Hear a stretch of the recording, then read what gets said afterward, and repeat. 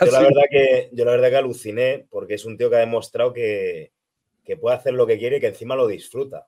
O sea, el tío ha anunciado que va a salir en Open porque le apetece, porque quiere disfrutarlo, pero es que encima eh, pone en duda a muchos rivales, eh, porque es que va, yo creo que va a hacer frente a, muchos Open. No estoy diciendo que vaya a ganar, pero vamos, mm, nos lo vamos a pasar muy bien, va a estar muy bien. Sí, la verdad, la verdad es que cuando me salió, creo que fue Instagram que me salió y tal, pensé, bueno, digo, ah, esto de las redes, que, ya la están liando y tal, y no me lo creí hasta, hasta que, bueno, eh, ves que, es cierto cuando hizo la confirmación y tal, y joder, pensé, hostia, qué bueno, porque siempre estamos discutiendo, ¿no? Y comparando un poco eh, categorías, a ver qué tal, qué haría, ¿no? Ya lo vimos incluso cuando, cuando ganó el Olympia Open Birrami, que luego hicieron una sesión de fotos juntos y tal, pues comparando, ¿no? Hostia, mira que esto, que lo otro, cómo se le ve. Y ahora, pues, escúchame, pues ahí va el tío, con un par de, un par de huevos, sí que, sí que, sí que es bueno. Y me va a encantar porque, porque igual que cuando hablamos con de Ángel Calderón, que salió en Open, ¿no? Ese, dar ese plus de, de, más, de no limitar el físico a un peso determinado que tienes que bajar y tienes que consumirte y, perder incluso masa muscular y tono a veces, ¿no? Eh, vamos a ver un poco el el límite de Cebum sin ese margen de peso que siempre le cuesta dar el peso, siempre está, tiene complicaciones, permitiendo pues eh, comer más, salir más lleno, más pleno. Eh, quiero verlo, estoy deseandito verlo. Sí, yo también. Una cosa, a ver qué os parece esto.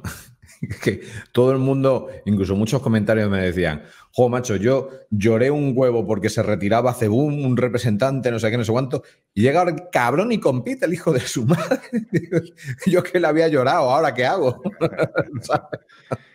Pero sí. Yo creo, yo creo que a todo el mundo aficionado de, a, este, a los hierros eh, no se, nos entristece ¿no? que un tío como Cebum se, se retire pero, pero a la, vez, y yo siempre lo he dicho muchas veces, ¿no? De que el ideal, ¿no? De, lo que es una, toda una carrera dedicada a un deporte, a, una modalidad de este tipo, ¿no? Eh, eh, si pudiésemos elegir, ¿no? El, yo siempre he dicho que el retirarte en la cima, ¿sabes? Eh, yo elegiría, si tengo que elegir un final, que, que fuese ese, ¿no?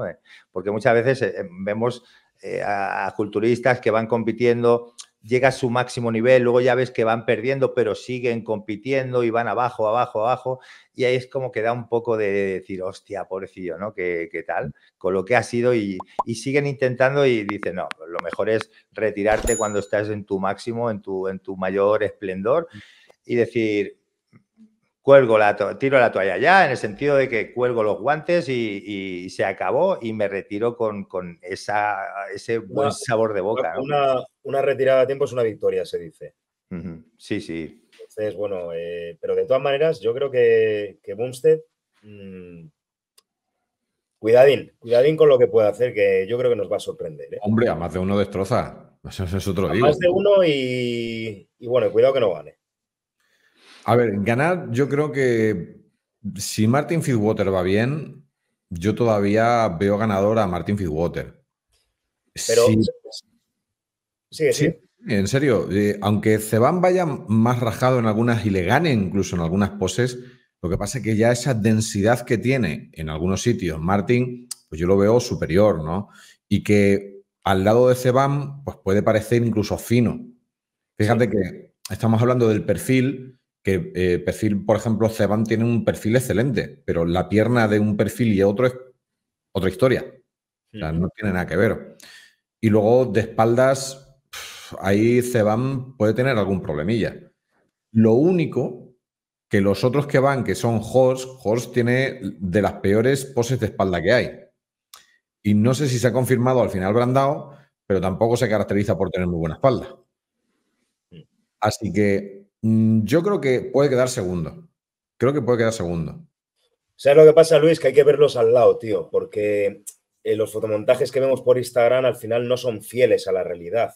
Nos podemos hacer una pequeña idea, pero cuando estén ahí comparándose en tarima, el uno frente al otro, eh, la calidad, la rocosidad, la dureza de, de Bumstead, esa separación, ese físico en forma de X, esa amplitud que tiene, va a llamar muchísimo la atención. Yo creo que va a llamar mucho la atención. Vale, ¿qué os parece si seguimos también con este, este tema, pero con el invitado? Yo lo hablaba, porque imagínate, yo te estaba viendo la entrevista al principio y fui igual que tú, iba en la camioneta y cuando vi eso empecé a ver todas las cuentas, digo, ah, esto empecé a mirar si en Estados Unidos era el día del, de los Santos Inocentes o en Canadá o alguna cosa así, porque de verdad que no me lo esperaba. Luego me senté y yo no sé si recordáis que antiguamente, eh, de la época de, de Paco, al LVS este pagaban un dineral porque los atletas fueran. Yo me acuerdo vídeos de jet privados que iba Flex, iban, iban todos en un jet privado, iban ahí. Yo pienso, esto cosa mía, ¿eh? pero yo pienso que llamaron al tipo que sabían que iba a cerrar todas las entradas en dos días y así pasó y digo, Cibu, te vienes a parsear aquí, estás en todo, en tono, está bien, te pagamos un dineral, te la gozas para irte, das el espectáculo y te vienes aquí, te venimos en jet privado, todo lo que quieras y montamos el show. Y yo creo que fue así porque las entradas, está sold out. O sea, está sold out y me imagino que el, streaming va a estar más caro hasta que lo limpia porque todo lo vamos a querer ver. O sea que yo creo que más que Sibun, que seguramente que se disfrute más que nadie, porque además es, él lo dijo perfectamente, es entendible, empezó en culturismo, se cambió a clase y él le gusta el culturismo, entrenar como culturista, o sea, le gusta esto, es una buena despedida, quitarse el eso, pero ya en la despedida ya está diciendo que, bueno, si va bien la cosa, está dejando bien a la IFB, que va lo limpia. Sibun o sea, yo es exagerado, pero Sibun es, yo me atrevería a, decir realmente que más de un 50% del evento solo van a ver a ese hombre. No sé si exagero, no lo veis como de mi lado, pero mueve mucha gente. Entonces, el tipo mueve plata. Entonces, al final, viendo de esta manera, yo nada más que lo vi, me sentí un poco calmado, empecé a ver eso y recordé aquellos vídeos de aquellos campeonatos de Praga que montaban. El de Praga era un Olimpia el año que fui yo láser, era impresionante. Esa gente tiene, tiene dinero como para decir, tanto dinero, vente aquí, vamos a pegar un show de la Virgen y sold out en dos días. Qué bueno. se vende en dos días, ¿eh? eres, eres eh, asturiano, pero llevas años viviendo ahí en Estados Unidos y, es la visión que, tenéis allí, ¿no? De, eh, siempre es todo negocio. Eh, Cebun es un negocio. Yo, yo lo he comentado, digo, eh, ha tenido que, cobrar una morterada por ir allí increíble. ¿vale? que sí, que yo sé que, aparte, va a hacer su trabajo, se lo va a pasar bien, que lo va a pasar bien, y, es como que lo mismo se lo toma en plan diversión y que iba a ser así, pero Cebun, yo lo poco que he visto de él, de las redes, todo lo que sigo y tal, es un tío muy, muy, muy inteligente. Y si ha ido gratis, es como que no lo creo, no lo creo que haya ido gratis. O sea, se lo va a pasar bien y luego cuando acabe se lo va a pasar mejor todavía. Literal. Al, fin, y al cabo, yo creo que no está ni mal porque nos da un poco a todos también algo, un, gusanillo que nos picaba de ver, ¿no? Compararlo con los Open. Así que no, como estrategia. Oye, ¿pensáis que le puede gustar la categoría Open, pero hasta el punto de repetir? Sí, sin ninguna duda. Yo creo que sin ninguna duda, a excepción poniendo unas comillas de la enfermedad autoinmune que tiene. Yo creo que él aquí, él date cuenta que yo a, a Sibun coincido varias veces porque viene al Elevation a veces, ahora está viviendo cerca de Boca Ratón. Y tú lo ves a, a Sibun fuera de temporada y yo no es que sea un gigante, pero me pongo a hacer una, foto a la suya. el tipo debe dejar todo. No, no, eh, eh, lo ves normal. Yo creo que el tipo desconecta de todo, de entrenamiento, de todo, porque creo que está tan ajustado a la categoría que se puede permitir vacaciones como hacía. Eh, no, show, no, Flex. No, ¿quién hacía eso? Dexter, Jackson, Dexter, Jackson cortaba todo. Que lo mismo que hacía Dexter Jackson, que desconectaba una temporada, volvía, LeBron también desconectaba, volvía, empezaba subiendo peso y se ponía duro. Yo no sé si le dará la, salud por realmente si tiene eso, porque Open nosotros lo vemos muy grande, pero porque lo comparamos con gente más chiquita, decirlo de alguna manera.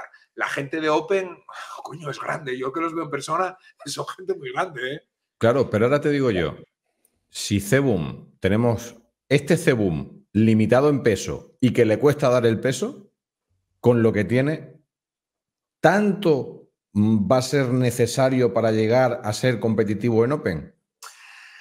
Yo creo que no, Pero aquí va la cosa, no se va a poder permitir descansar todo el año.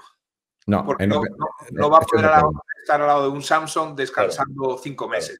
Se va a tener que poner las pilas. Él aquí viene contento y feliz, lo único que pasará más hambre que un muerto a última hora.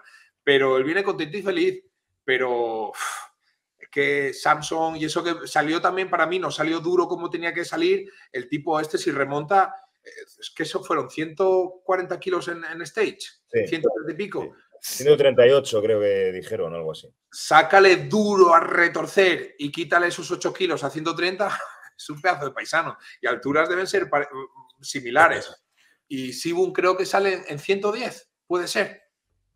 Eh, Ceban pe- eh, mide un 82, si mal no recuerdo. Un pelín más alto que yo, sí. Sí, un 82. Y salía, no sé si en 105 o 106. Espérate. Cre- Creo que algo más, creo que algo más. ¿Sí? rozando los 110, creo, ¿eh? Yo me suena que es rozando, sin llegar, pero rozando. Espera, ahora, ahora lo busco yo. 20 y Sí. pico kilos en la misma altura, ¿eh?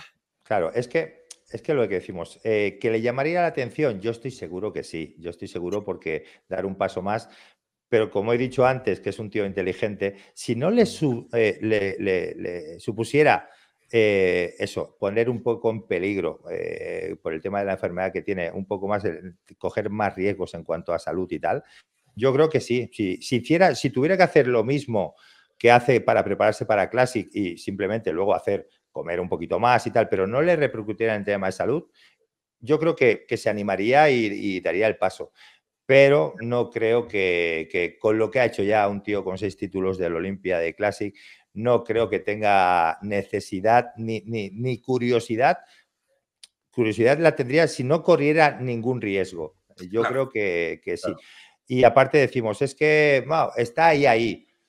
Eh, está ahí, ahí, pero la preparación no está ahí, ahí. eh, ¿Sabes? Eh, se diferencia mucho sí. la categoría Open. Entonces, no Sí. creo, o, mira, antes he dicho, es, es un tío inteligente. Yo creo que no sería muy inteligente si tienes que poner en riesgo, depende qué, ¿sabes? Claro. Y ahora os digo yo, con el físico de Ceban, yo es lo que he visto, ¿no? Aunque tenga la estructura classic, pero yo el músculo que, le veo, no le veo un músculo classic. Yo a Ceban siempre le he visto culturista. Porque eh, tú ves, em, a ver, como entiendo yo el classic, ¿no? Tú ves un físico clásico y siempre nos recuerda época de los 70, más o menos, ¿no? Y no vemos pues un músculo pues, con tanta profundidad o tan sumamente condicionado. Entonces, yo le veo a él con un físico, hostia, con un dorsal muy masivo, con el pectoral rajadísimo, los brazos no son bonitos, no son para nada clásicos, pero están bien cortados y los cuádriceps de Classic no tienen nada. O sea, para mí los cuádriceps, culturismo puro y duro, ¿no? No sé si opináis esto igual o cómo lo veis vosotros. Es que a mí, a mí Cebun me parece una X, tío. O sea, yo sí lo veo Classic, la verdad. Yo sí. ¿Tú, Paco, Eso- cómo lo ves? Pe- Pero, pero, eh, es que decimos, a ver, ¿qué, qué, qué- qué definición damos de Classic? Eh, es un culturista con, sí, se, se- se valora más el tema de las formas, eh, la estructura clavicular con una estrecha cintura, con el bombeo de cuádriceps, pero teóricamente es lo que tendría que ser un culturista, ni Classic ni... ni, ni- y lo que pasa es que un Open con 138 kilos, como dice Rancés, en el. Olimpia y tal, que, que incluso Sansón para ese peso tiene la cintura estrecha, pero es que es imposible. Pero el culturista ideal sería, pues eso, la forma de Cebum, mejorando depende, depende qué formas de tal, el tema de los brazos, por ejemplo, pero ponle 25 kilos más. Claro, eso, eso, ni Classic, ni Open, ni llámalo como te dé la gana, pero ese es el ideal que querríamos todos, ¿no? O sea, es que El, es así. el peso que me han dicho aquí es 105, ¿eh? Que sale. ¿Sí? 105. Lo que me han dicho. Aquí.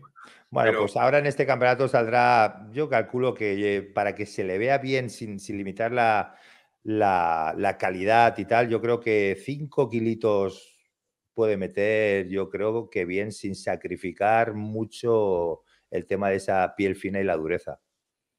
Mm. Sí, sí es verdad que va tan limitado a la hora de dar el peso, ¿sabes? Tú lo has dicho. si es verdad que va Bueno, tan claro, limitado. eh, es lo que decimos. Porque yo a los del pesaje de Ceban nunca le he visto mirar los pies. No sé por qué. ¿Sabes? Este año fue curioso, además, cómo le pusieron la. la porque eh, toda la vida, a ti cuando te ponen la medida encima, o sea, de eso, te la castan abajo, te pegan. A él, si llega a poner la, cresta que poníamos en, los 90 así, se la apoyan aquí arriba. Bueno, pero tú sabes que las peripecias que ha habido en los pesajes con los pelos. yo he visto de todo. He visto rastas, crestas, trenzas, que incluso las trenzas se las hacen más juntas. calla, calla, calla, no digas más, que ya se nos viene a la cabeza. Bueno, bueno, fíjate que lo he dicho inocentemente. Hostia, la que voy a armar, ya verás. Pero bueno. Qué malo eres, Luis. Ya, ya, voy a tener que quedar con el malo de la película, como en la hostia. Pero bueno, no pasa nada. Al final, lo que tenemos que recordar todos, sí, es lo que estaba diciendo Paco, es que esto no deja de ser un show. Y hay una parte de empresarios que además no, no, es mentira porque cuando empieza la Olimpia presentan a todos los empresarios, no a los jueces, a los empresarios, dando las gracias por su aporte económico. Este año el sponsor principal fue este asiático que es de la marca esta de, maquinaria que dio una cantidad de miles y miles y miles de dólares. Entonces al final tenemos que recordar eso y, yo creo que a la... Fijaros una cosa, ¿eh?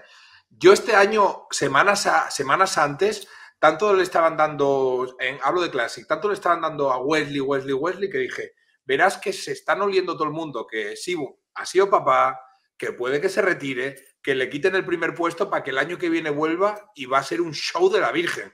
Si Boom vuelve a por el que. Yo estaba, yo estaba con mi locura así, porque como él no como dice Pago, tengo la mentalidad en otra cosa. Sí, me gusta el culturismo, pero al final yo veo esas cosas que las veo, porque este, esto de Praga es totalmente eso. Y digo, ya verás que le quitan al pobre campeonato simplemente para que tenga que venir el año que viene. Qué fuerte. Y mira, no le quitaron el campeonato, pero le invitaron a que fuera a salir en Open. O sea que el pobre no se retira. Es que